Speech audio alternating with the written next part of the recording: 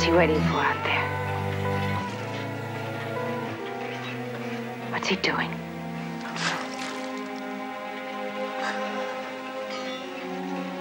He's whittling on a piece of wood.